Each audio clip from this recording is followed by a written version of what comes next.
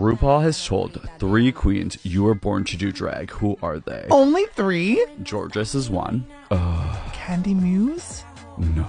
No, that's I'm your biggest fan. Um, um, um, um, um, the UK winner that I love. And- Cheney? no, nobody thought she was gonna win. I was like, she is the future. She had plastic Oh. surgery at twelve.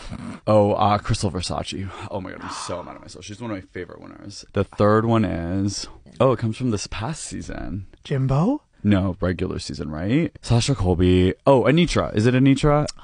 It is Anetra. And she'd only been doing drag for a year and a half. So he only told three people that. yeah, and he's gonna tell me